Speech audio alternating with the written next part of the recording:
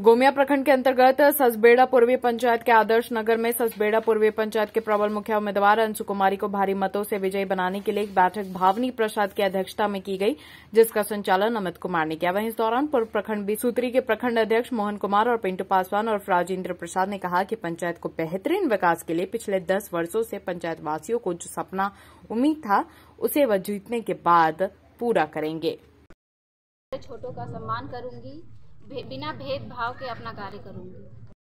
मुझे जनता का भरपूर सहयोग मिल रहा है।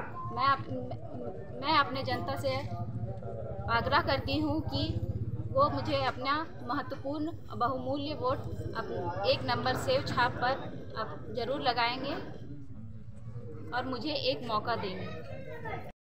उम्मीद लगाए हुए है कि मैं अब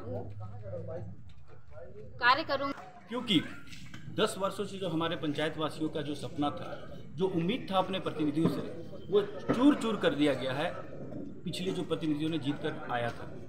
काम की तो दूर की बात, मान सम्मान से भी जो है, लोगों को अपना जो है, पीछा छोड़ाना पड़ा।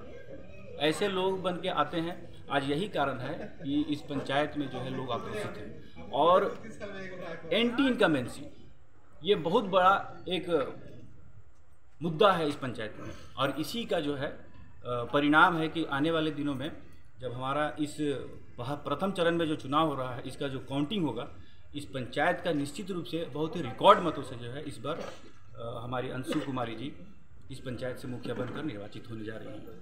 और मुझे पूरा यकीन है, विश्वास है कि इनके नेतृत्व में हमारा पंचायत, क्योंकि पूरे समाज, ससबेड़ा पूर्वी के अंदर रहने वाले जितने भी शिक्षित हैं, प्रबुद्ध हैं और प्रभावशाली लोग हैं, जो हर अपने अपने लोगों का, जो नेतृत्व करने वाले लोग हैं, जो